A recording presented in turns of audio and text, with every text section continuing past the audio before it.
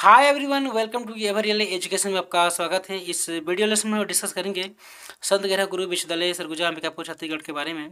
ठीक है, जिन्होंने अभी हाल ही में एग्ज़ाम के लिए अधिसूचना निकाल दिया है। अगर आप इसके लिए एग्ज़ाम फॉर्म भरना चाहते हैं, मई सत्रह, मई जून दो हज़ार बाईस के लिए, जो देखिए सभी कॉलेजों के लिए है, अगर आप जिस भी कॉलेज में पढ़ते हैं, या फिर आपके यहाँ जो भी कोर्स चलता है, जैसे कि पीजी का कोर्स चलता है, ठीक है सेमेस्टर सिस्टम से। तो उसके लिए जो सेकंड सेमेस्टर के स्टूडेंट हैं, या फिर फोर्थ सेमेस्टर के स्टूडेंट हैं, जो रेगुलर स्टूडेंट हैं, या फिर जो भूतपूर्व स्टूडेंट हैं जिनके में बैकलॉग लगा हुआ है, वो इसके लिए फॉर्म भर पाएँगे।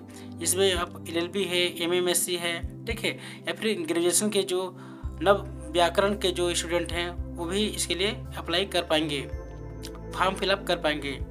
तो इसके लिए फॉर्म भरने का जो डेट है बीस मई 2022 से 30 मई 2022 तक है। तो 20 मई 2022 से 30 मई 2022 तक आपको फॉर्म फिलअप करना है, ठीक है? ताकि आपको किसी तरह की असुविधा ना हो।